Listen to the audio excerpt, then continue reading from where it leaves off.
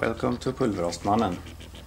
I am troubleshooting this subwoofer that I got uh, recently and it has dual 2 ohms voice coil but one of these coils is measuring about 2 ohms higher than the this side that has 2 ohms and the other side is measuring about 4 ohms so it's 100% uh, too high impedance on this side the speaker is not working properly.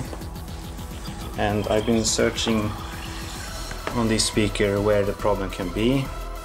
And the voice coil itself looks pretty good so I figured that the contact problem must be somewhere between this terminal here and this voice coil.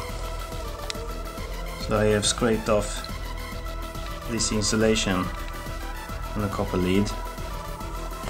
And I find when measuring down there.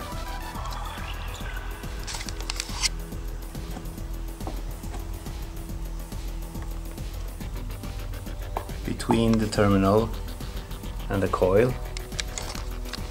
Let's get some focus. Measuring there. And between this negative terminal I have a reading about 2.1 ohms or 2 ohms. So somewhere most likely in this pressed side here between this speaker lid and the copper wire is the problem. So I'm gonna try and see if I can make a way to make this work again. And I will make another video how this turned out.